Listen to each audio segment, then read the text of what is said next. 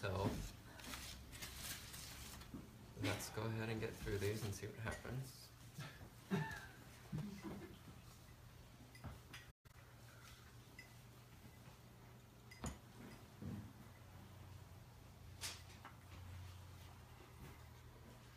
Okay.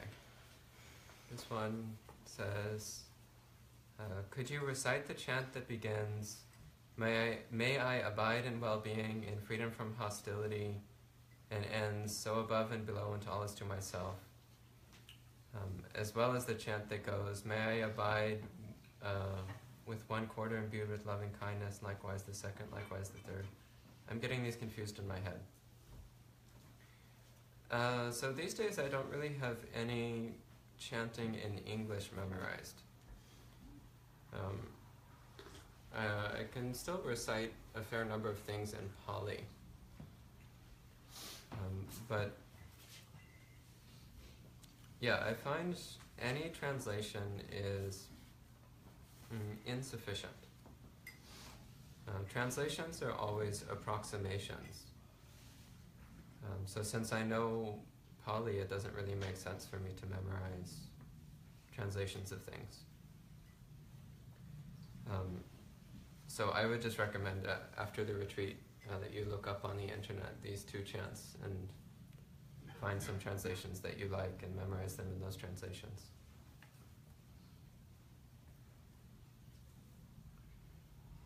This one says, Are you aware of the website bigwords.com? No, I'm not.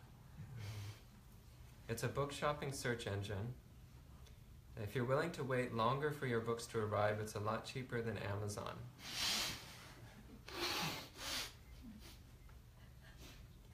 Um, it doesn't allow lay supporters to donate at the same time using Amazon Smile, but 0.5% isn't very much. It's true, Amazon Smile is a joke. It's really not much at all. Um, I calculate Buddhist Insights supporters would have to purchase $1 million in goods a month just for BI's rent.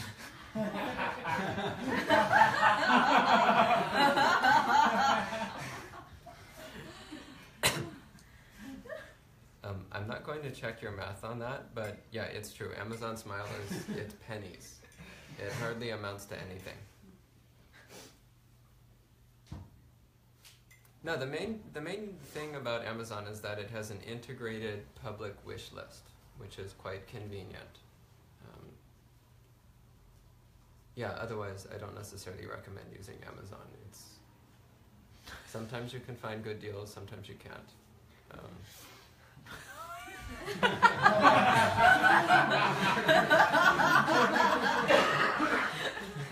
Maybe I should just talk about Buddhism.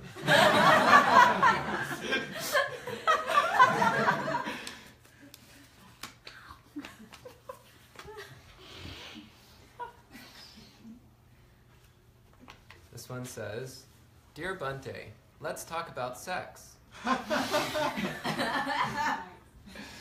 No, really. I know monks are celibate, but the precept for lay people is so broad. I have this friend, we'll call her Sally. Everyone. is, is this the same as Sally from accounting?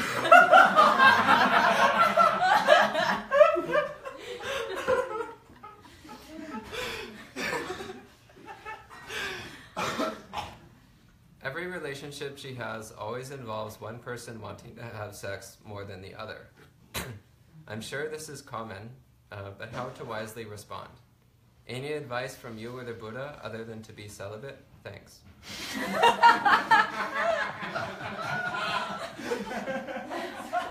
well, uh, I do have to say that celibacy does clear up these issues quite thoroughly and completely. um, that said, if Sally is not yet willing to be celibate, which is not surprising, most people are not interested in celibacy. So I, I understand. Um, then uh, the thing in that situation is that both people in the relationship need to be kind, considerate, and respectful of each other. Um, so uh, that may mean making some compromises. It may mean being willing to uh, either, uh, yeah, it may, it may be you have to make some sacrifices in a relationship. Um, so I'm not saying the sacrifices should be on the side of the person who wants more or the person who wants less, but rather it's that both people need to be kind to each other. Um, if your relationship is not loving, then it's not worth much of anything. Um, so one thing, uh, so it, it is true. So the, the Buddha is pretty clear that um, sexual activity strengthens desire and attachment. Um, and so therefore it's, it's not it's not on the side of the wholesome for the most part. Um, it's, uh, it tends to strengthen our ties to samsara and therefore strengthens our dukkha, strengthens our suffering. Um, but if you're in a loving relationship, then you can also, that relationship can also help you develop wholesome mental qualities of uh, loving kindness and compassion and mutual consideration and mutual respect. Um, it can help you step outside of uh, your normal self-centered way of thinking into an other-centered way of thinking. So a loving relationship can be useful for developing uh, mental qualities that are helpful on the Buddhist path. Um, note that I said loving relationship. That does not necessarily mean a sexual relationship. Um, so there's an, a distinction to make there. Um, as for the precept, the precept for lay people is not broad. It's actually quite specific in what it's saying. Um, the precept for lay people, uh, as the Buddha defines it in the suttas, um, covers a handful of very specific things. Um, first off, uh, refraining from sexual assault. Uh, so, briefly speaking, the third precept is simply not uh, not breaking the boundaries of trust uh, in sexuality. So, uh, not engaging in sexual assault, but also if you're in a relationship, not cheating on your partner. Um, or if you know somebody else is in a relationship, not engaging in their cheating on their partner. So, not engaging in adultery either by breaking your own relationship or in participating in somebody else breaking the boundaries of their relationship. Uh, however, the third precept does not specify what kinds of relationships are acceptable. So the Buddha never said anything about the genders of people or the number of people involved. Um, so your relationship might involve people of the same gender. Um, it might involve more than two people. Um, these aren't uh, these aren't mm, singled out as being problems in and of themselves uh, as long as it's something which everybody is aware of. So if you have multiple partners simultaneously, then be clear with your partners that that's what's going on. Um, and where it gets uh, where it gets into the domain of clearly violating the precept is if you've got your main partner and then you've got your secret sidekick who the main partner doesn't know about. Um, that's definitely in the category of the unwholesome. Um, but if you're totally clear right from the start, um, I'm, I'm still going to be seeing other people, and the person is like, okay, I'm fine with that. Then, as far as I can tell, that's not violating the third precept. It's still, however, probably cultivating greed and attachment in the mind. So it's still most likely on the side of the unwholesome.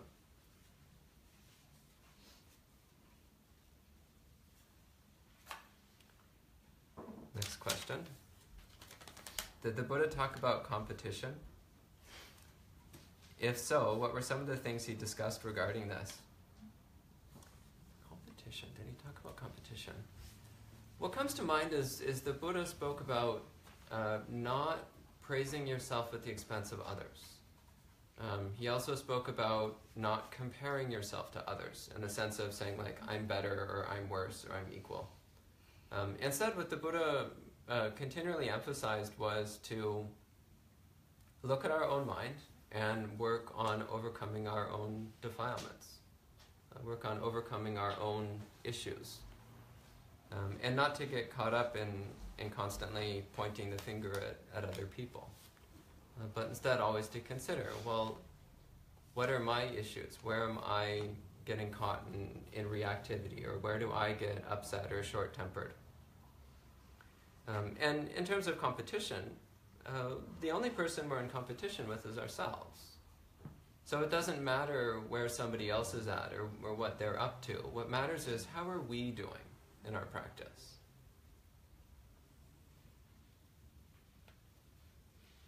So the only, uh, as far as I can see, there's there's only two valid reasons that come immediately to mind for uh, examining other people. Well, okay, we'll start with two. Um, first is to look for inspiration. So you might have somebody who is more advanced in the practice than you, or more advanced in some areas at least. And then you might look to them as an inspiration. It's like, okay, well, I have a hard time holding still in meditation, but uh, look at this guy. He's rock solid.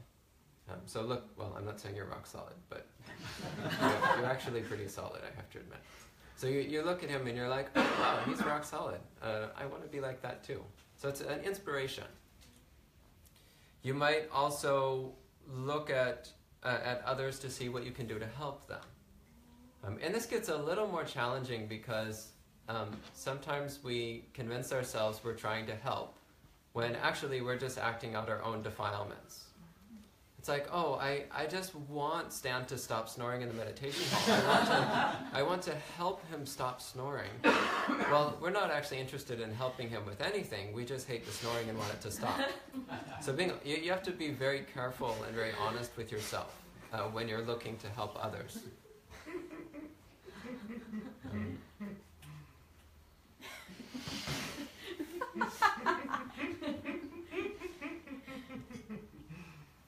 Another, another thing you might do when looking at others is if you see faults in others, is then to consider do I have the same faults? If you see somebody else who, who gets angry easily or who gets upset uh, or who takes things personally, then reflect. Do I get upset? Do I get angry? Do I take things personally? Do I also need to settle down a little bit? and you'll probably find that, yeah, actually you do. Um, so that's a useful thing. Uh, that's another useful thing, but that's not about competition. Um, it's not like uh, I mean, you, you can actually use this in a wholesome way. Again, in the sense of inspiration.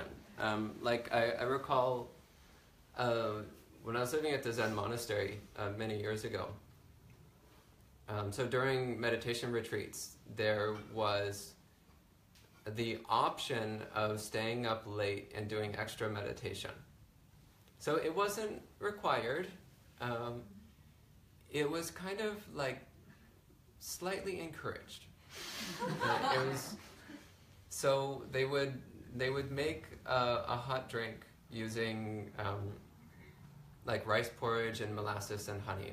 It's really good. Like they, they like slow cook the rice and mix in molasses and honey. So it's this this really delicious, energizing beverage. And they would put it out at the end of the last meditation period to give you a little extra boost so you could stay up late and meditate if you wanted to. So then you would get this scene of, uh, so you'd have like maybe 30 or 40 people on the retreat. And then after the last meditation period, there'd be five or 10 people who would go in and get their hot drink and then go back in the meditation hall to do more meditation. And often it did have kind of this macho competitive attitude of like, who's gonna sit up the latest? And it's like, I made it till 10 o'clock. And, and then you're like, but there's still two people in the meditation hall. I can't leave now. So you're like, okay, I'll keep going. I'll keep going. 10:30, 10:45. Holy hell, I'm really sleepy. But okay, okay, she left. Now I can leave. Um, so sometimes, uh, so that's a way where you can use that competitive attitude to your benefit uh, using it to help encourage you. Um, or like uh, reading some of the, the stories in the suttas of uh, monks who experience monks or nuns who experienced a great deal of abuse or hostility, and yet they continued their practice without being bothered. And it's like, wow, if they can do it, I want to be like that too. So that's a that's a healthy way of taking the competitive attitude and, and making it beneficial, making it useful.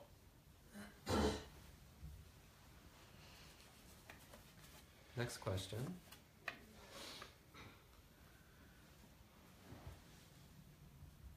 It says, when we're in the bathroom and someone knocks to see if it is occupied, it is hard to let them know we're in there or what's going on since we aren't allowed to talk.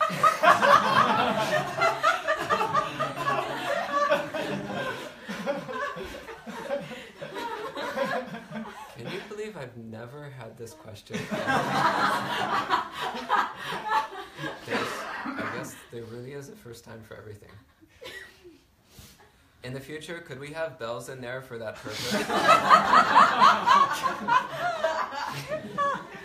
Nothing fancy, just something we can ring to let them know we'll be a while. Actually, interestingly enough, this is covered in the Vinaya. Um, in the Vinaya, the, the Buddha says that the proper thing to do is to, to cough uh, or clear your throat, just so the person on the outside knows there's somebody on the inside. So if somebody comes and knocks, you just, uh, and then it, it's quite innocent and harmless, like, oh, I'm just coughing, no reason whatsoever. it doesn't have anything to do with the person outside, so it, it, it doesn't feel like social interaction at all.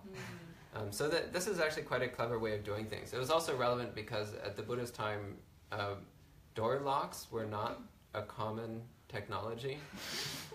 Um, so he developed this little system of like you would go up and you would cough, and then the person inside would cough, and that's how you would communicate the bathroom was occupied. okay.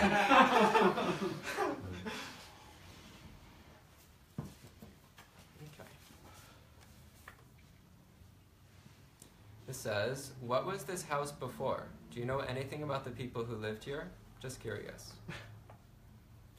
Well, immediately before, there was a small group of medical students who were staying here, I think. Is that right? Medical students? Somewhat. Somewhat. Okay. they were somewhat medical, or somewhat students. Um, I think that just after Hurricane, um, just after Hurricane Sandy hit, uh, this was also a base for some of the relief work that was happening in the area. Um, before that, I don't know. I don't know. Do you know? Mm, There was nothing. Okay. There, interesting. there was absolutely nothing. There was a, a blank void right here. Basically, there was a blank void until we decided we needed a meditation center. Exactly. Um, and then this popped into being looking like an old rundown house. Uh, so it looks like it's 80 years old, but it, it actually just popped into existence a year ago, year and a half ago. Okay. There's somebody who always makes little squiggles at the top of their notes. I don't know who this is, but it's a distinct trademark. I've tried to read some Buddhist books during the retreat, but it felt like sensory overload. I've had this happen before during long meditation sessions where my mind felt very sensitive and raw afterwards. I'm concerned because the retreat ends on Monday, and on Tuesday I'll be back at work, sitting at my desk and dealing with that excrement storm. Do you have any suggestions for those of us who have to return to the marketplace when this is over? Yeah, quit your job.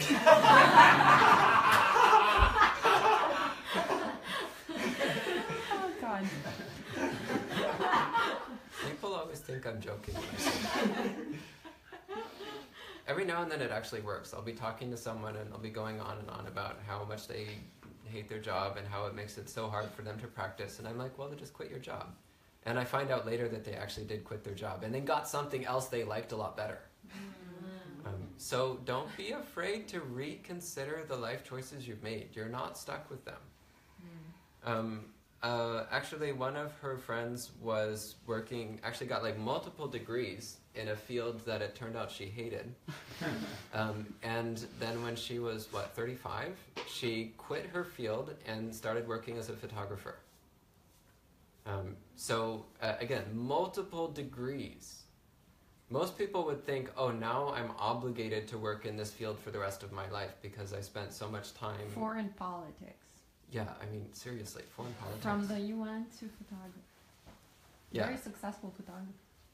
Um, anyway, point being, you can always turn your life around. You're not stuck on your chosen career. You can always do something different. Um, as for, okay, first off, regarding reading books, it's like I said at the beginning of the retreat, during meditation retreats, sometimes reading books is helpful in that it gives you uh, inspiration and a sense of, of how to practice. But sometimes it's actually detrimental because it, it keeps the mind moving and full of noise, uh, which can make it more difficult to concentrate and focus on your meditation practice. So often during long meditation retreats, I won't read very much. Um, it depends on what I'm interested in getting out of the retreat. Um, as for uh, being back at work on Tuesday, you'll deal with that on Tuesday. but don't be scared of anything. It's, it's just your own mind. Let's see. I have started reading The Wings to Awakening this week and I am finding it useful. What do you think of this book and Thanissaro Bhikkhu's writings in general? Um, do I have to be politically correct on Facebook Live? Damn it. um, in The Wings of Awakening, he uses the word stress, where most others would say suffering, when he discusses the Four Noble Truths. This seems like a much more comprehensible translation, but perhaps it is taking too much liberty. What do you think? So I read the book The Wings to Awakening uh, several years ago, and at the time I found it quite interesting, actually. Um, to be perfectly honest, I'm not a huge fan of many of his books, uh, most of his books. Uh, but that one in particular I did like. Um, as for his translations of Pali terms, yeah, I frequently dislike his translations of Pali terms. And translating dukkha as stress is one that I, I find particularly uh, inaccurate. Um, I do agree that suffering is a bit too heavy of a word for dukkha. I tend to prefer discontent or dissatisfaction um, or unpleasantness, uh, like words which, which communicate more, uh, a more nuanced or broad range of meaning. Because when you hear the word suffering, we tend to think of agony, misery, and torment. And that's part of dukkha, but dukkha is also when you stub your toe. Uh, dukkha is also when the tea is a little too bitter. Uh, dukkha is also when someone's upset at you but you don't know why. Um, dukkha is also uh, when you're feeling a little bit tired but you can't take a nap. Like, dukkha is all of these things, um, as well as like getting stabbed and, and beaten and all those other stuff as well. So, yeah, I like, uh, but the other thing to keep in mind is that dukkha is, uh, it's not necessarily a physical experience, it's a mental experience. It's that mental experience of dissatisfaction, of discontent, of, uh, of not being totally okay with what's going on. So I'm not a fan of stress. Um, well, I'm not a fan of stress in general in life, but I'm also not a fan of the word stress in translating dukkha. Yeah, I like dissatisfaction or discontent. Um, I think that pins it down a bit more closely. I've noticed an impromptu sign language developing amongst the retreatants as the result of our vow of silence.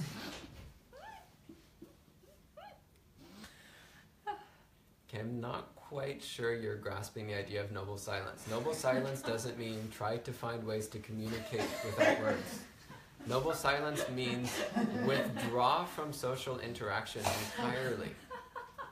It means don't engage in any unnecessary communication.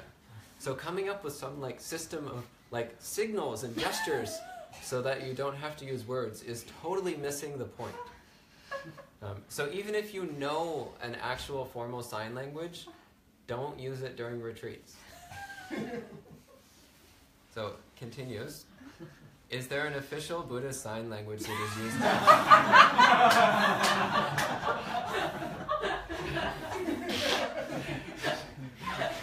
um, to the best of my knowledge, no. and is it common for monks to take long vows of silence? So in Buddhism, silence is normally done as part of uh, meditation retreats. but outside of meditation retreats, it's not very common. Um, so, uh, and, and that said, some meditation retreats might last for, for quite long periods of time.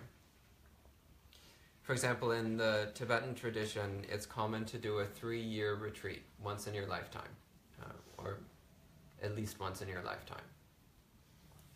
Um, and actually, as I understand it, that's usually done, uh, it's often done as a solitary retreat. So, like three years of solitude, which then naturally involves noble silence, since there's only,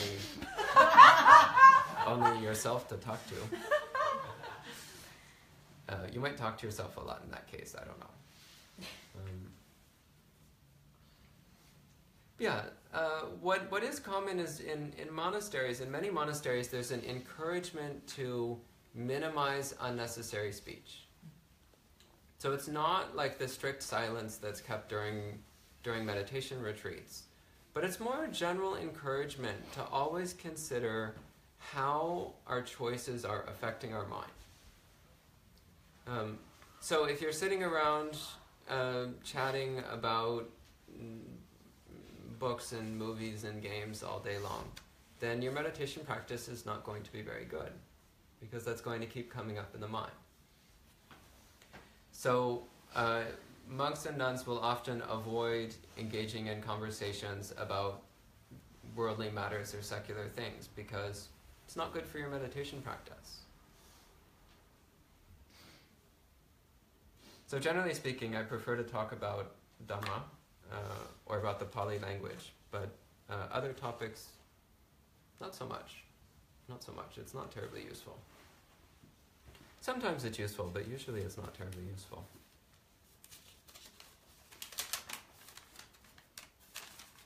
Let's see. I really like the angel on top of the Christmas tree. Um, how she's respecting the Buddha, uh, a peaceful and very nice spirit. Uh, what do you think? I agree with you. Yeah, she's she's got her hands in Anjali. That's awesome. She's got her hands together. Yeah, it was really nice. So as I mentioned before, it was during the, the previous retreat, then um, uh, some of our regular uh, meditators went and got a got this tree and brought it and set it up, and uh, it's really lovely. I was really happy about it. Um, during my stay here, I have been walking outside, uh, not for beauty view or just to see people. I did meditation walk. It's a very quiet town, and I see how things change every day. Um, and about belief, I saw Christ. Uh, are you talking about like the there's this big Jesus statue in somebody's yard, um, the block over here? has Has anybody else seen it? I see it. Yeah, it's very noticeable. Um, it's only it's less than a block away from here, but there's there's a house nearby here where where somebody has like a larger than life size um, statue of Jesus hanging on the cross in their front yard, and and also all these big signs commanding us to repent and the kingdom of heaven is here and all this other stuff. So I kind of respect it. I mean, because that that person clearly wants everyone to be happy in, in their understanding of happiness. So I'd actually suggested that we do the same, have like a huge statue with with quotes uh, saying like you you must purify your mind or you will be stuck in samsara for eternity, something like that. But she, she didn't like that idea.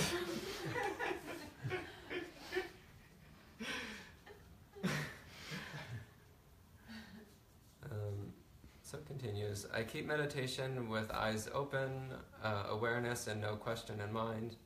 I just see thoughts coming and going. Uh, it's helped me about meditation. Do you have any suggestions about it, or should I stop doing it? I think it's fine. Um, again, it's it's mostly about keeping the uh, the mind of meditation. So keeping our attention firmly focused on the body, firmly focused on our present moment experience. Developing wholesome mind states, letting go of unwholesome mind states, and so on. That's the important thing. So, walking meditation can be a, an extremely powerful practice um, if we really make an effort uh, to make it a powerful practice. Three, question about meditation. I've been sitting uh, about 30 to 35 minutes, and now I get through the pain, but when it turns into an hour, the pain is coming back. Any suggestion? Yeah, stay with it. It's great the pain is coming back. That's perfect. Um, uh, I remember uh, early on, I, I was, so when I was living at the Zen monastery, and at one point I, I went to one of the teachers and I was like, uh, I'm just, I'm having a, so much pain in my meditation. What do you recommend? And she was like, that's good. That's good. It's really good that you have pain in your meditation. And I was like, what? This doesn't make any sense. And, and so the point here is that if there's, uh, so pain arising is indicating that we have not yet worked through our aversion to pain. We've not yet figured out the nature of pain. So then it's important to push through that. It's important to examine that so that we can come to an understanding of it. Once you come to an understanding of pain, you will never experience it the same way again. It changes for the rest of your life. Uh, next question. Are the sutta translations that you discussed this week posted on the Buddhist Insights webpage? Uh, not currently. Um, I've been tacking them on the bulletin board, as people have probably noticed. Um, and if people want copies, I'm happy to send them by email afterwards. Yeah, we'll do that. Yeah, Yeah, maybe we'll just send them send them to everyone. We'll send a copy of the suttas to everyone.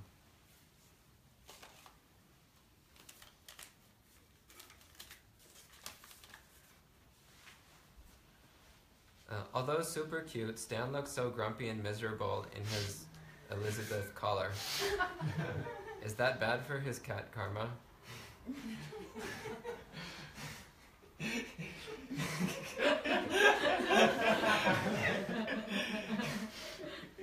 Probably, yeah. um, yeah, I mean, I wish we didn't have to use the collar, but every now and then he starts starts injuring himself, and it becomes necessary. Next question.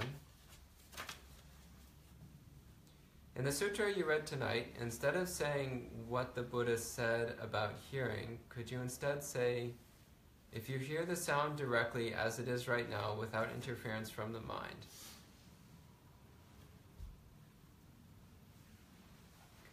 So, as they say in Zen, too many words. Uh, the Buddha said it very directly. Uh, in the heard, uh, there will be just the heard. In the heard, there is just the heard.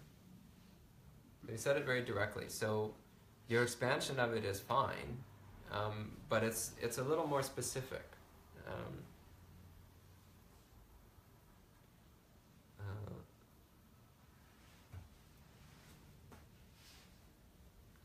yeah, I'm I'm not quite sure. Interference from the mind. Interference from the mind. Interference from the mind. No, because there's also awareness of mental activity. It's awareness that the mind is just the mind. So there's awareness that hearing is just hearing, but there's also awareness that the mind is just the mind. So whether or not there's interference from the mind is beside the point. The point is, are we aware of it without building a sense of self out of it? That's the important piece. So I would leave what the Buddha said as it's written, uh, as he spoke it. Next question.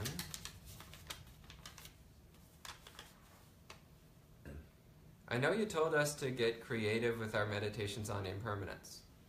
I've been meditating on A, the fracturing of all my social relations, familial, friendship, etc., or B, the different ways my body could die. Just checking to see if that's within what you said in your Dhamma talk or if there are flaws to these approaches. Those are fine. That's not actually what I've been recommending. Those are both perfectly good meditation practices, by the way. Um, those are good ways of breaking down coarser attachments. Um, so the contemplation of death that you mentioned is another meditation technique the Buddha recommends. Um, and the fracturing of social relations, I would say, fits under the the third of the five daily contemplations. So the third one is that everything we love will change and be separated from us. Fourth, sorry, the fourth of the five daily reflections. So while related to impermanence, now it's somewhat different from the perception of impermanence. The perception of impermanence is directly feeling the constant change every moment. That's what I'm encouraging uh, people to develop. The direct experience of constant change, moment after moment. So that's a somewhat different thing than what you're talking about here. Again, the techniques you're talking about are good. They're good techniques. Uh, it's just uh, a different meditation technique than I've been talking about. Two, sometimes in my practice I experience self doubt that I'll ever progress on the path. Then I don't practice sitting for a while. Do you have suggestions for how to deal with these self doubts, like activities? One of the problems here is that you seem to think that sitting is practice. Um, practice is not sitting. Practice is what we're doing with our mind in every single waking moment. So it's always considering what am I doing with my mind right now? And then always doing what we can to shift the mind towards the wholesome. So then, as far as experiencing doubt about progress, are you saying you've never experienced any progress at all? I find that very hard to believe. So, uh, I'm willing to bet that you've experienced some progress. Even people that are brand new to meditation practice or brand new to Buddhism notice a difference after a single meditation period. So, I would encourage you to reflect on what progress you do make. Reflect on what benefits you do notice, no matter how small or slight. Because recognizing that you are, in fact, making a difference indicates that if you just keep going in that direction, eventually you'll go all the way.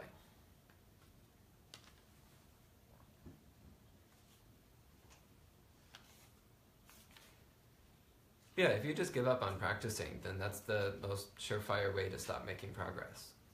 Um, so continue your practice and you'll keep making progress. Next question. Okay, this is creative. Um,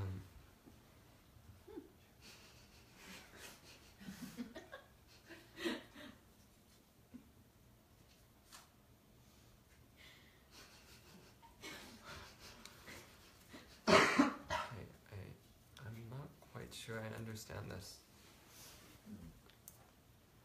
Oh, oh, okay, I get it. What? Um, it's a helicopter. Like it's supposed to. Ah. Okay, someone's bored.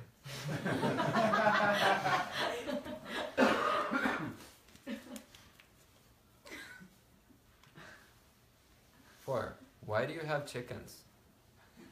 Did you save them from a poultry place? Close. Uh, they were abandoned. Um, so we took them in.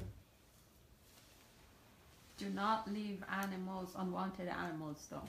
Yeah, please don't. yeah, please don't leave more here. Like uh, at Bhavana Society, uh, they have a cat there. Um, at least I assume they do. I haven't been in a while. Do you know is is Madhu still around? Is she still alive? Okay. They have a cat there. Um, and the way it happened was just in the middle of the night. Uh, someone just like drove up to the monastery, like tossed a cat in the door, and then drove away. um, so one of the monks, just in the middle of the night, he starts hearing this meowing outside his door, and, and at first he thought he was dreaming or he was crazy or like going out of his mind or something, and then he was like, no. No, that really is a cat meowing. This is so strange. And he goes and he opens the door, and there's this cute little orange cat sitting there. So they were like, okay, I guess we have to take take this cat in. Yeah, do not do that here. Yeah, if you do that, yeah, bad karma. Like this is not a dumping ground for animals. Um, so we were happy to uh, to shelter those two chickens, but that's that's enough. um, maybe someday when we have more space and more resources, then we can shelter more animals. But for now, that's that's about our limit.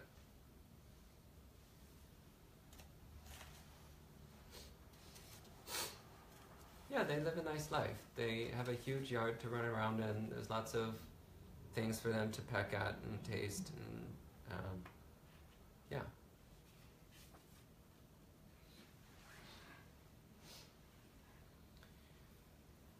Recently, I saw an episode of Tasting Table on Netflix. It's a show that normally profiles famous chefs and their food. However, however, in one episode, they profile a Korean Buddhist mm, monk None. nun. Uh, I believe her name is Jun Jun Kuken. Uh, the monastery, you know of this lady. Mm-hmm. Yeah, I, I've never met her, but I've heard about her. The monastery is located in the mountains of South Korea. Do monks ever watch TV? If you haven't seen it, I highly suggest it as it's quite beautiful.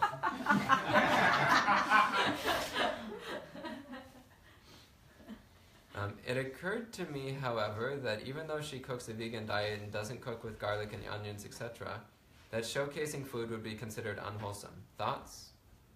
Granted, a famous chef randomly found her and got her an episode on Netflix and an article in the Times, but still.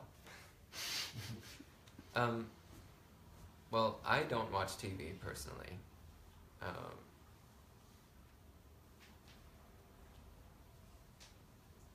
yeah, I I think it's quite unlikely I'm going to watch this episode uh, of Tasting Table. Um, so I think more notable here is that uh, I wouldn't necessarily say that showcasing food would be considered unwholesome because if part of her mission is to encourage people to use less animal products and therefore to reduce the factory farming industry, um, then that's a noble mission. Uh, so the factory farming industry is really terrible. It's really awful.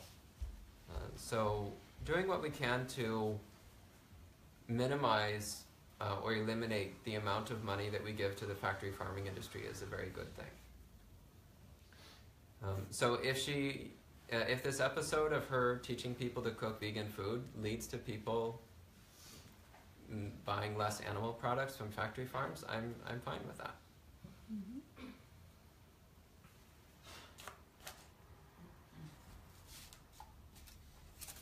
Let's see. Is it immoral for me to purchase a Dhamma book, Dhamma book licensed for free distribution? The book Broadview Boundless Heart of- is out of print and hard to find, but I recall seeing a copy on Amazon a couple years back. Um, I would say it's immoral for someone to be selling them, uh, especially since the books very clearly state free distribution only. This book is not to be sold. Um, so I think it's it's immoral that someone is selling it in so clear contradiction to the the principles that the book was produced on, on under. Um, I don't think it's immoral for you to buy it.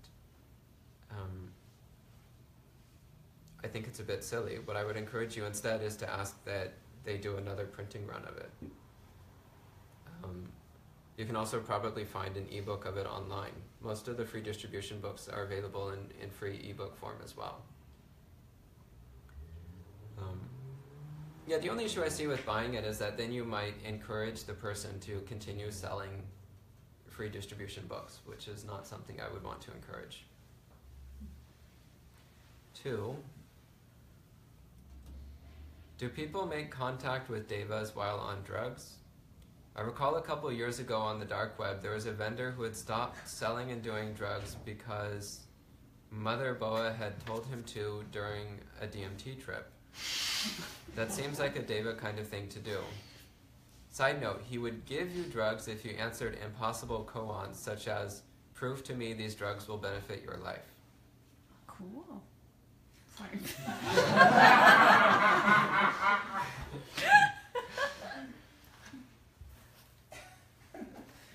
So I do believe that sometimes um, drugs, and particularly some drugs in, in specific, can open a person's mind to contact with devas.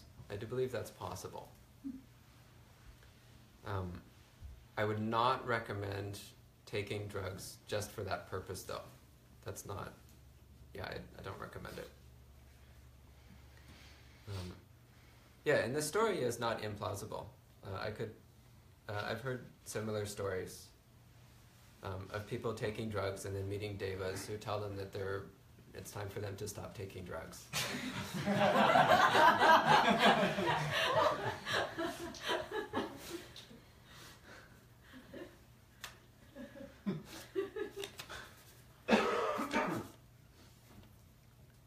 this says, thanks to Giovanna for all the warmth and nourishment. Does she have an Amazon wish list as well? Uh, you're welcome. I think someone wants to buy you a present. Um, yeah, yeah, it's not on the wish list. Enlightenment. Unfortunately, I have to work for it. Let's see. Do you think you were a monk or nun in a past life, or is this your first time at the monastic rodeo? Technically speaking, um, we've all been monks and nuns at some point in the past, just probably, uh, just in some of our cases, not recently. Uh, in my case, I actually am pretty solidly convinced, convinced I was a monk or nun very recently, uh, either in a previous life or uh, a couple lifetimes ago for a number of reasons. Um, one of the major reasons why was because when I first started studying the Vinaya, I had a feeling of coming home. I had a feeling of deep, deep familiarity and comfort. Um, again, like the feeling when you've been away from home for a long time and then you, you walk through the door and there's that feeling of coming home. That was what it was like for me when I started studying the monastic code. Um, so yeah, I'm I'm reasonably certain I, I was a monastic in a recent life. It would also explain why when I first learned about uh, learned about Buddhism that uh, I had an immediate connection with it, uh, and also why I within a very short amount of time I determined that uh, I was going to be a monk.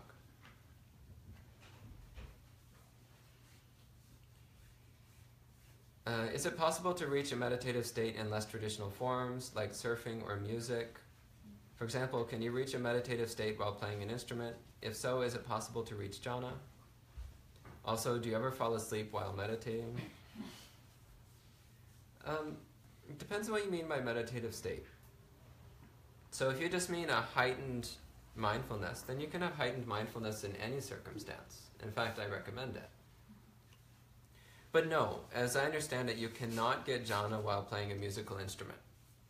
For one thing, you'd probably drop your instrument.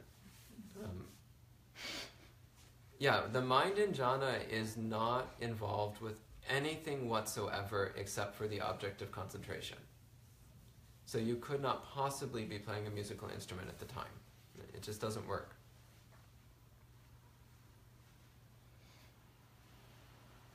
Similarly, with surfing, there's just too much going on. Um, there's, it's not possible to get jhana while surfing either. There's just, it's, there's too much going on. The mind is, the mind may be very present, but it's not still. The mind needs to be very still in order to reach jhana. Um, as for do I ever fall asleep while meditating? Well, odds are you'll get an example of that over the next few hours. Um, because I'm actually I'm a little bit ill right now, so my, my physical energy is low. So I'm still going to stay up till midnight um, as planned, um, but I I may not be in my best form. Um, I used to have a lot of trouble with falling asleep while meditating. Uh, I still do from time to time, but not not as not like it used to be. Um, yeah, at this point, I I know enough tricks uh, that it doesn't usually get the better of me. But every once in a while, like um, if I'm really tired, or if I'm sick, or um, or if there's something else going on that that makes it hard for me, then I might I might doze off once in a while. It does happen.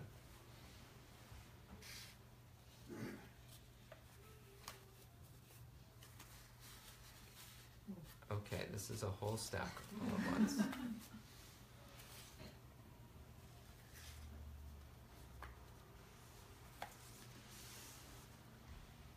If I prepare to become a monk but want to donate lots of money to make sure that the monastery has enough resources, for example, food, medicine, etc., is that an unwholesome thought because I am preparing against scarcity based on my fears?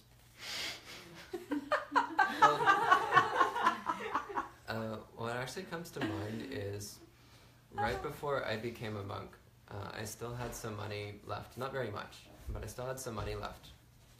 So I ordered bulk cocoa powder for the monastery. I think uh, I got. I ordered something like 50 pounds of cocoa powder. Um, and it lasted for like the first two years that I was a monk. There was, there was always cocoa for the first two months. The first two years. First two years. Um, so was was there was there some selfishness there? Yeah, there was. Um, but there's there's also there was also an element of generosity because it was for the whole community. Um, so it wasn't just me drinking myself to death on cocoa, uh, but it was it was sharing it with the whole community, and it just so happened that I was part of the community. totally coincidentally.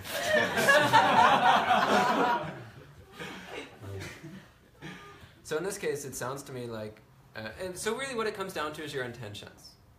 If you're actually doing it with a solely selfish intention, then that's unwholesome. But if you're doing it with the, the intention of helping out the monastery, then that's wholesome. And if you're doing it for both, then that's mixed.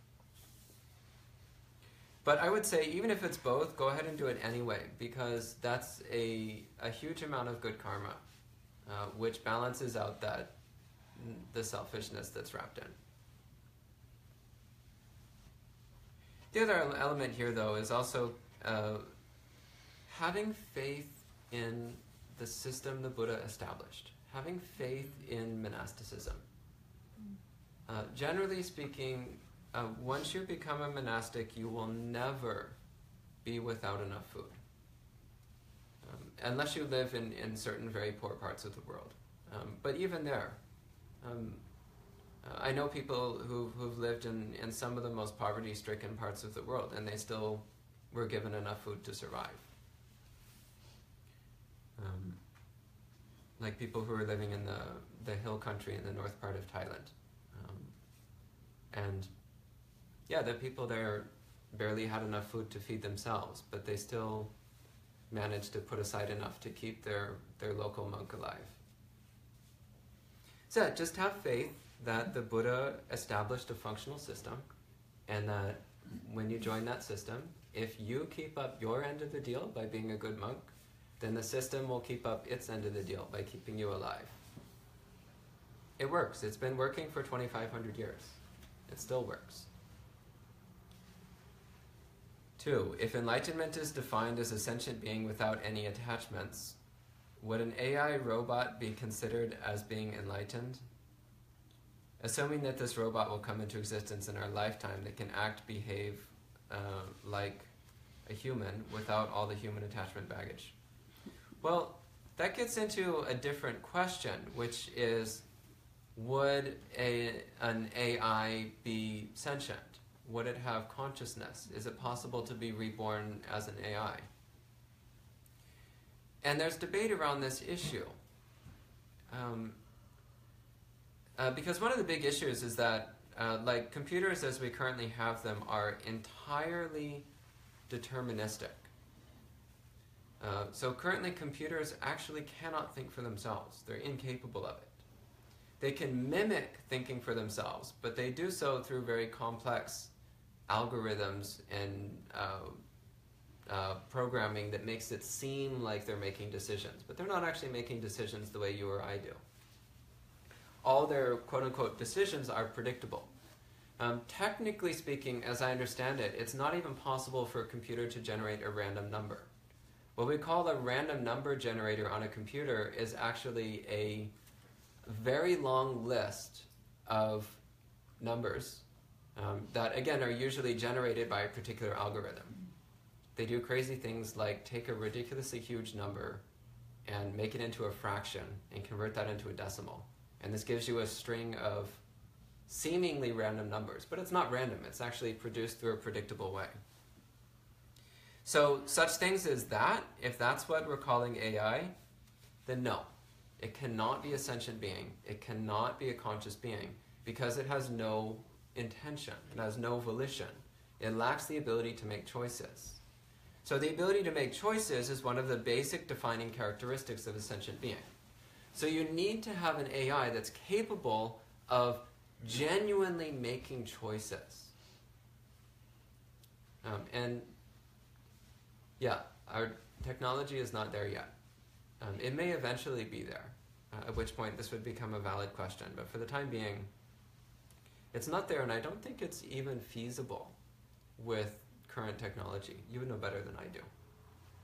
Okay, maybe not. um, but no, an AI robot would not be considered enlightened. Uh, because if they did develop a machine which was uh, capable of housing a sentient volitional consciousness, then that would be a being reborn into that body, and that being would have attachments. So they would not be enlightened by default. They would still have to practice just as the rest of us do. Three, do you find that your path to enlightenment gets easier or harder over time in meditation practice? It gets easier. It actually does get easier. Um, it gets easier, but also you learn more nuances and more subtleties, uh, which is kind of encouraging, actually, because uh, in, in the beginning it can seem very simple. Like you go and to learn meditation, and someone's like, just sit down and pay attention to your breathing. Sit down and follow your breath. And you're like, that's it? That's Buddhism? Boring. But then you start practicing and, and things start to open up. You start learning that there's other meditation techniques. And you start learning the reason why there's different meditation techniques is to work through different characteristics of mind.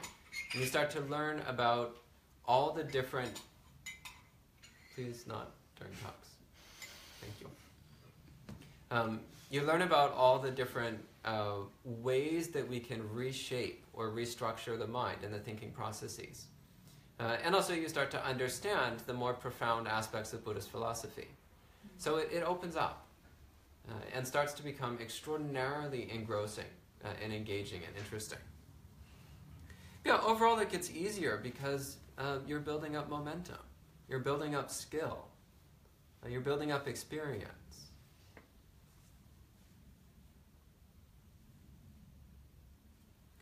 Four, why don't you join forces with the lovely, oh, the lone, not lovely. Why don't you join forces with the lone Sri Lankan monk that you mentioned? Wouldn't it be easier to have a team with a single mission? Um, is it because of some fundamental sectarian differences? Uh, well, he comes and teaches with us from time to time, and I go and teach at his place from time to time. So, in that sense, we, we already support each other to a certain degree, uh, in that we both help out each other's programs. But uh, no, it wouldn't make sense for. I don't think, at least currently, as things currently are, it wouldn't make sense for uh, us to be the same organization because we're doing somewhat different things. There's some overlap between what we're doing, uh, which is why we're able to have the, the interaction that we do. But we are doing somewhat different things. So, yeah, it doesn't quite make sense at this point. It's not because of sectarian differences. He's a very open minded uh, monk. He's a, he's a really wonderful guy. I, like, I really highly recommend uh, meeting him and, and spending time with him. In fact, there's some flyers for his meditation center uh, on the shoe rack over there. But no, it's just that he's doing something a bit different than what we're doing here. So it, it doesn't quite mesh perfectly.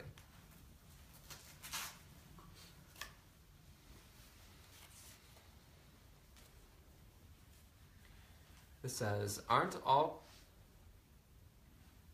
aren't all karma mixed with both wholesome and unwholesome qualities?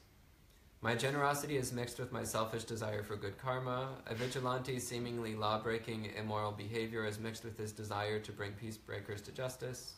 Our meditation efforts are mixed with our personal desires for enlightenment. Or am I overthinking this? You're overthinking this. so it is possible to have generosity without selfishness, for example. If it's not something you've experienced, try. try to give a gift purely to make somebody else happy, without any thought of return. Try.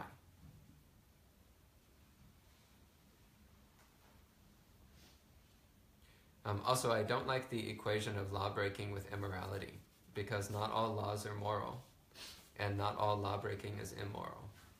Um, so let's not get those confused, because they're different things. Um, as for our meditation efforts being mixed with our personal desires for enlightenment, yeah, um, keep that one for now. The personal desire for enlightenment helps keep you on the path. Without it, why are we here? And seriously. Uh, if we don't have the desire for enlightenment, then we're not likely to move towards enlightenment. So, for the time being, keep that one. You'll need to let go of it later when you're right at the edge of completion. You'll need to let go of it. But for now, you don't need to let go of it.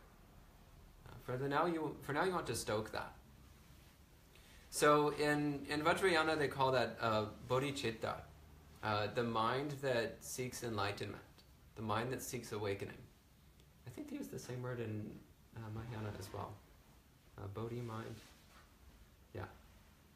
Um, yeah, it's a good thing. The mind that seeks awakening, it's a good thing. Six, if someone does me harm financially, is it karmically correct to bring that person to justice instead of personal revenge? Or am I supposed to let it go? But what if this person keeps doing this to others? If I tell myself that it's to prevent this from happening to others, am I rationalizing? I can see how this karma intent game can be extended to justify anything. It's not a game. Um, it's about sincerely asking yourself, why am I doing this?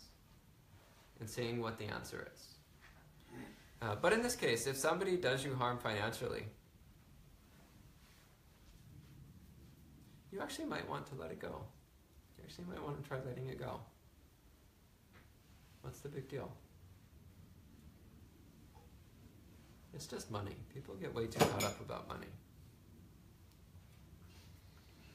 Um, if that person keeps doing it to others, that's their karma. Uh, that's their own bad karma that they're creating. Uh, it's not your job to go around trying to uh, change, like, like, trying to get other people to stop making bad karma. Though you can, um, you can try to convince people that their ways are in error. Uh, you can do that if you like to, and that can be a wholesome thing to do. But just trying to see other people punished because you don't approve of what they're doing, yeah, that strikes me as vindictiveness rather than compassion. Um, so that that doesn't seem quite right to me.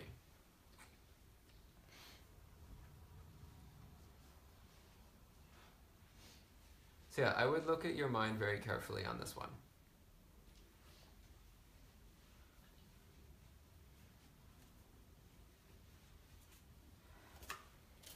Okay, seven. Are all attachments equally weighted? For example, is attachment to working hard just as bad as being a complete lazy bum? How about karma? How about the no killing and no lie thing? Are they equally weighted in terms of effect on karma? No. Uh, each thing carries its own weight. So there's a huge difference between killing and telling lies. Killing is much heavier karma. Any suggestions on what kind of music to listen to during working out? How about none? How about just not listening to music and instead practicing mindfulness of the body? Uh, I used to do long distance running and I found it to be, uh, it, it's kind of just like fast walking meditation. Um, well, I mean, very fast walking meditation. But still, it had that. It has that same quality of being fully aware of the body, of, of being of closely paying attention to one's physical experience. So I found uh, I found long distance running to be actually supportive to my practice, but I was not listening to music while I was doing it. Uh, that seems like it would kind of spoil the the contemplative value of it says, I'm starting to think modern music that's full of words about love, sadness, anger, sex, etc. is probably bad for maintaining peace. I think that's wise. Nine, not trying to say that I don't like it, but is doing a four hour meditation just as effective as four one hour meditations? I would think latter is better as it develops a habit, not to mention less stressful for newbie meditators like me. you guys are really terrified of it. What's the big deal? I don't understand. And no, it's not the same. It's really not. Uh, the thing about a long period of time is that you eventually you get to a point where you stop fighting you stop fighting the process. What I've noticed is that even an hour long meditation, you can waste an entire hour. An hour long meditation, you can spend a whole hour obsessing about how much your body hurts. An hour long meditation, you can spend the whole time thinking about cheese and novels. An hour long meditation, you can spend the whole time spacing out. Four hours, after the first hour and a half or two hours, you just start running out of ways to avoid meditating and eventually you get to a point where you're like, look, I'm stuck here. I might as well actually meditate. Because then when you meditate, then you find peace, joy, and contentment right here and right now. And you're like, so avoiding meditation is making me anxious and upset and agitated and disturbed. Craving for the bell to ring so I can end is also making me agitated and upset. Uh, obsessing about the pain in my body is making me agitated and upset. Why don't I just drop all those things and just practice wholeheartedly? Why don't I just make a sincere, genuine effort to practice meditation? And what else are you going to do? so you, you can actually kind of sneak into this technique by uh, when you sit down to meditate, uh, you, you take on the mindset that you will never get up. The meditation period will never end. if you take on this mindset sincerely, then it will radically change the character of your meditation. Your meditation practice will get much stronger. Everyone's face was. Um, and the, the thing about the thing about having a, a really long period, like three or four hours, is that it's much easier to convince yourself it's never going to end.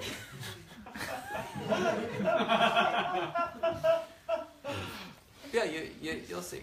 You you just get to a point where you're just like I might as well actually meditate. I haven't really been meditating for the whole retreat.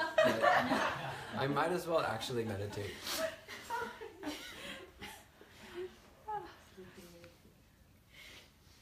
And it goes on. I used to train people in gym, and I always told them persistence over a period of time always beats one crazy session. um, how about both?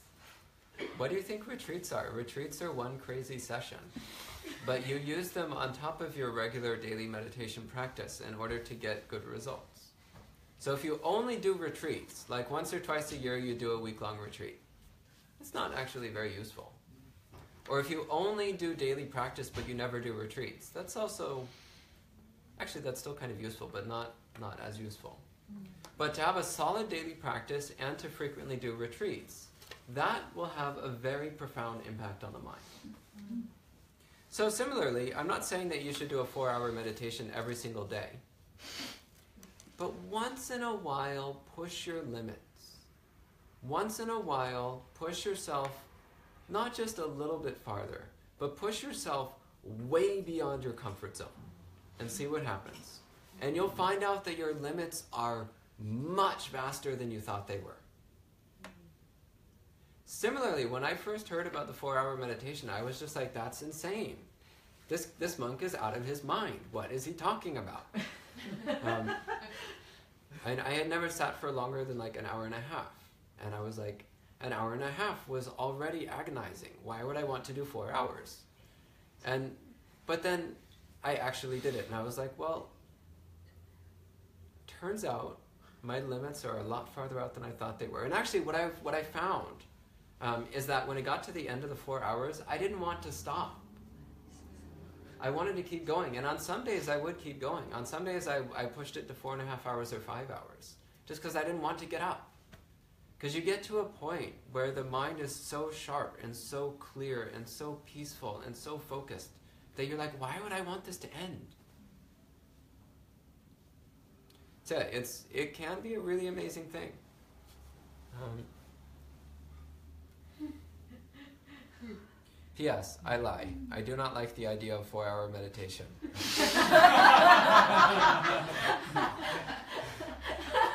Maybe later. Too early. Yeah, later is in, in a few minutes.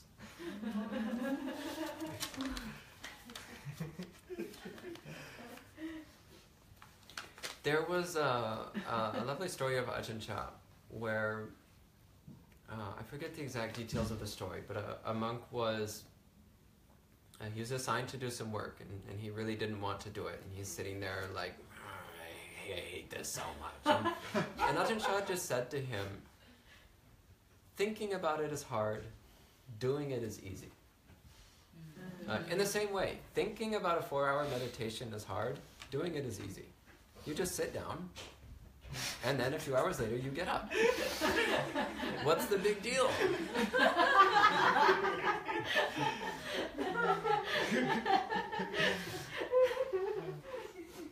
okay, so this one is about someone's missing their socks. um, I'll read that after we're done with the Q and A, so that it's not immortalized forever on Facebook that somebody somebody lost their socks during the retreat. this one says, Where does intuition lie in regards to Buddhism? You're right, intuition does lie very frequently. Uh, where does intuition lie in regards to Buddhism? How can one nurture and trust one's gut feeling that it doesn't follow some mindless positive thinking or made up story? So, we have to be very careful with what we call intuition. Because often what we think is intuition is just our defilements. What we think is intuition is just our habits of greed, hatred, and delusion.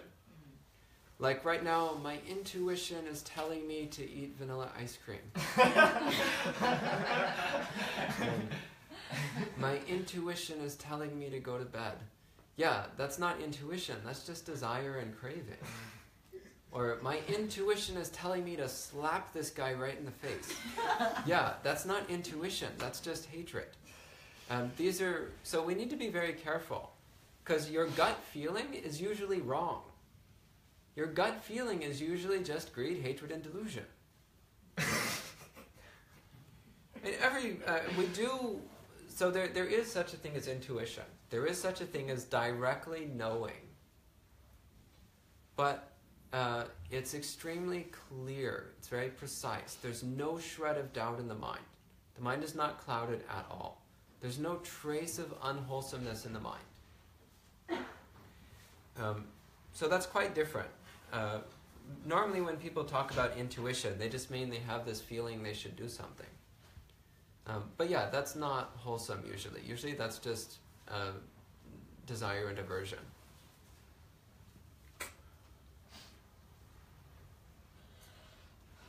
That said, we do have something uh, called conscience, the ability to recognize that something is, is wholesome or unwholesome. So that is something to watch. Um, so, for example, if I'm about to do something unwholesome, I can feel it in my body. Um, I can feel it in my mind. I can't describe exactly what that feeling is like, but I know. I know that I'm about to do something bad, and that means I should probably stop. And sometimes I stop, and sometimes I don't. but then afterwards, I reflect, and I was like, I knew exactly what I was doing, and I did it anyway. So, learning to listen to your conscience, to that little spark that says, I'm about to do something bad, maybe I should stop. Learn how to pay attention to that. That's a good thing. Somewhat related, I've had to let go of many things since setting foot on the path to absolute truth, like my career change. I've yet to figure this out, and time is money in New York City.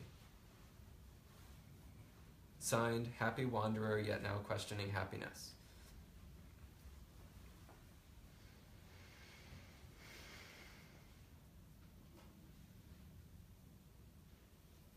To some extent, uh, we can just recognize that once we set our sights on enlightenment, then that becomes our most important thing.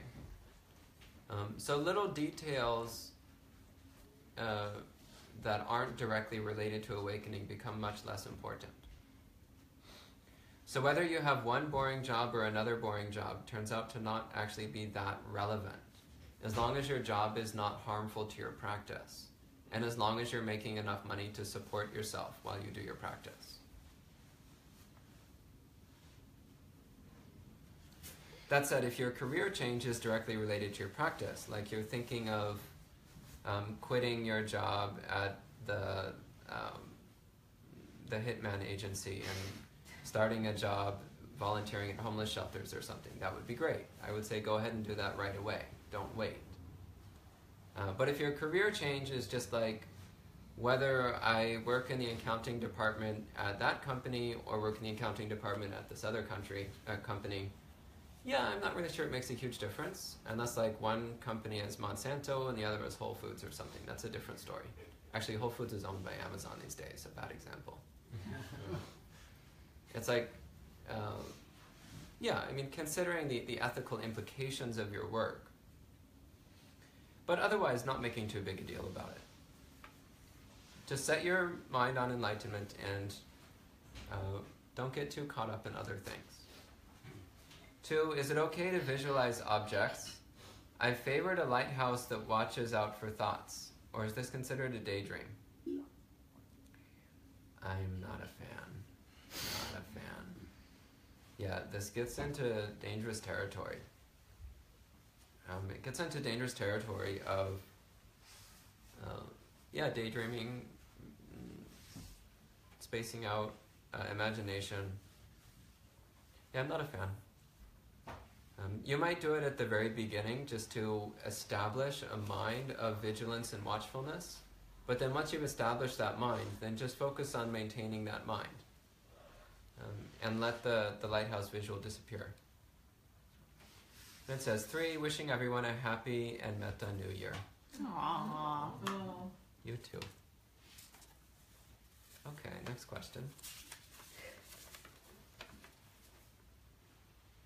One, about the middle way. Would it be possible to explain about this topic a bit more? How to apply to meditation practice and daily life in general? Well, it depends on what you mean by middle way. Um, so the most common thing that, that is called the middle way in the suttas is the Noble Eightfold Path, which is a very detailed map for how to live daily life and also what to do in meditation practice. So that would be a fairly direct answer. However, you might have noticed that in the Kaccanagotta Sutta, the Buddha in that place defines the middle way as the uh, perception of emptiness and contemplation of dependent origination.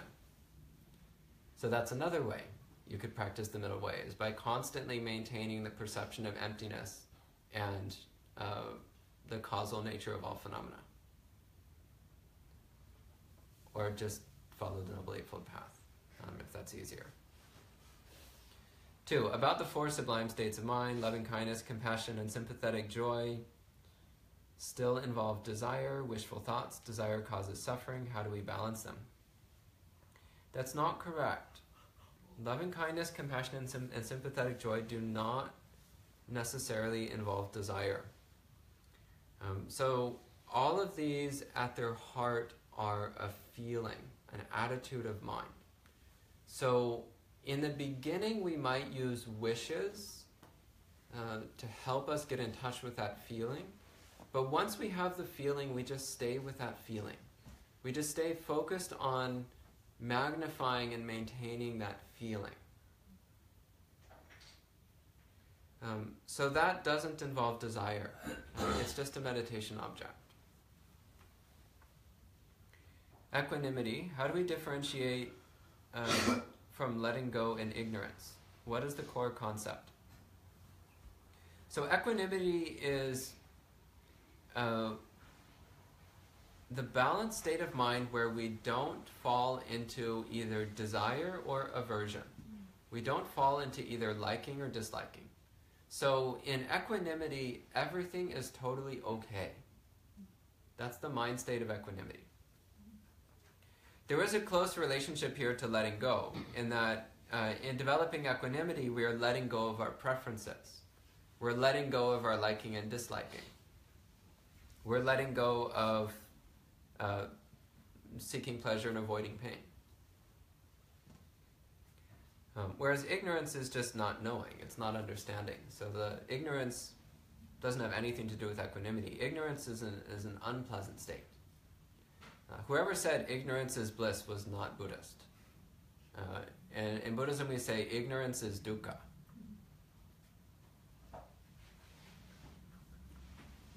Um, okay. Four more questions. Any more stories of monks pushed to enlightenment to inspire us for the rest of the marathon? no. Um, also, where's the person with the laugh sign? Um,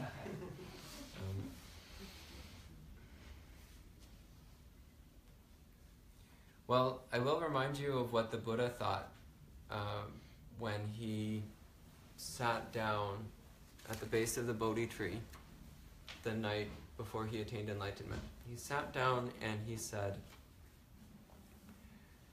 Let my blood dry up and my flesh wither till there's nothing left but skin and bones, but I will not get up from this seat until I attain awakening. Okay, that was supposed to be inspiring. Clearly not inspiring.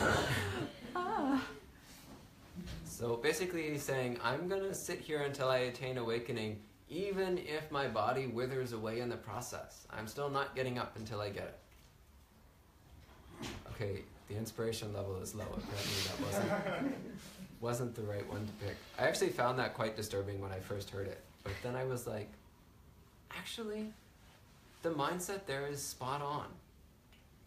Because it's absolute determination, it's absolute dedication. Uh, it's unflinching commitment.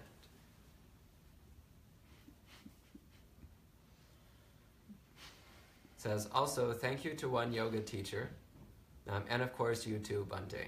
Wink. Yeah, I saw you guys up there doing your stretching thing. That was cute.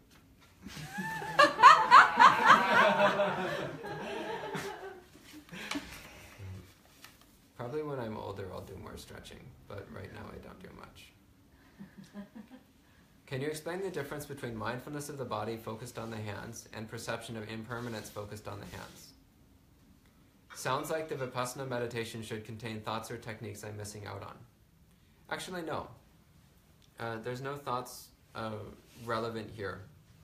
Um, I wrote a detailed article about the perception of impermanence, which hopefully will be up on the website Yeah, sometime yeah. relatively soon. Mhm. Um, so the thing is that mindfulness of the body focused on the hands, you're using the apparent solidity of the hands, the apparent solidity of the body to help focus the mind. So you're actually using the perception of stability, the perception of solidity, the perception of permanence, which is, is delusion, of course, but it's our ordinary mind state. So we're using it to our benefit to establish concentration, to establish mindfulness. So, like right now, um, unless you've been practicing perception of impermanence with serious dedication, right now your body probably feels solid. Does anybody here, does their body feel solid right now? Okay, uh, most people aren't paying attention. That's fine. um, so then your hands feel solid. So we're using that apparent solidity of like, there seems to be a solid object here, my hands. So I'll focus my attention on that solid object that seems to be there. So this gives us a, a solid anchor, seemingly solid anchor for our attention. So that's using it for concentration. But when we when we switch to doing the perception of impermanence, our attention is in the same area, but we're no longer focusing on a solid object. Instead, we're watching the constant change of everything within that domain, everything within that area. And as the practice becomes more refined, so constant change implies watching things over time. But as the practice becomes more refined, then we recognize that the uh, eh, it's not a single object changing over time, but rather it's a series of moments of sensation. So it's not that you have a hand and the hand exists over a period of time, it's just that it's a little bit different over time. Um, that's not the experience. This, the experience then becomes to a series of moments in which there is the experience of a hand. And in each moment, that experience is different. So at this layer, we're focusing on that experience of moments of sensation. And as we pay closer attention, what we'll notice is that each moment simultaneously arises and ceases, simultaneously comes into being and ceases to exist. So then what we recognize is that the experience, like the, the object is only, you might say, half real or partially real. It takes on a ghostly quality, a mirage-like quality, a illusory quality. Like with the similes we, we were looking at earlier, like a, like a lump of foam, like a mirage, like a, an illusion.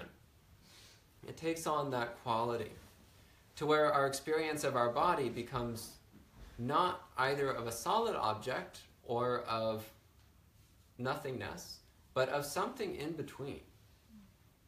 It's not really here, but there's clearly something here. That's what the experience becomes. It's, it's at this ghostly quality, this ghostly point between existence and non existence. So, uh, and again, this is right in the present moment. It doesn't take place over time. It doesn't require any thought. It's an immediate, present moment experience. Okay?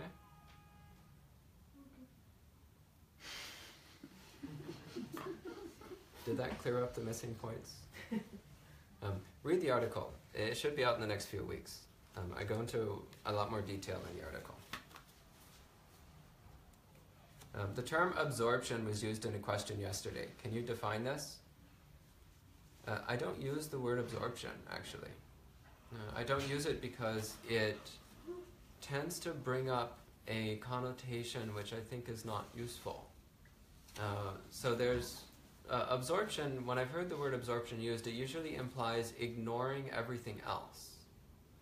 I'm like, I was so absorbed in my book that I didn't hear the car go by. Um, and we don't want to be cultivating ignorance. We don't want to be cultivating mindlessness. We don't want to be cultivating a lack of awareness. So, the encouragement I usually make is when doing concentration meditation, you put 80% of your attention on the object and you keep it there.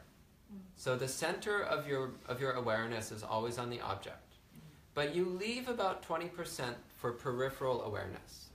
So you're not blacking out everything else. You're still aware of everything else, you're just not looking at it. It's like right now, I'm I'm just looking at this piece of paper, but I am peripherally I'm aware of the water bottle and the bell and uh, the window and so on. But my gaze doesn't move from uh, the paper. That's what uh, that's the kind of attitude in meditation practice that's that uh, is most useful because we're leaving we're leaving the field open so that when we start doing insight meditation, the field is already there.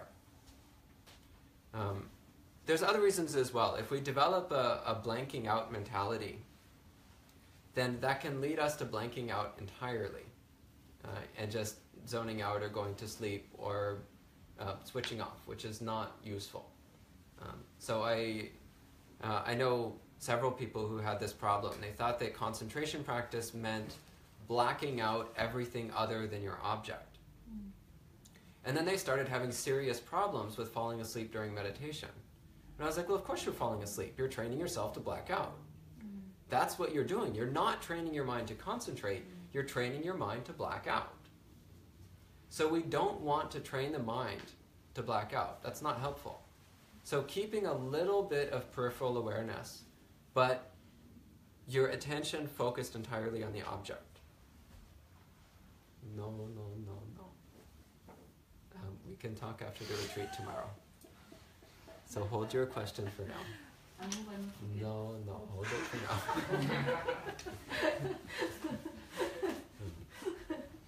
you can write it down if you need to.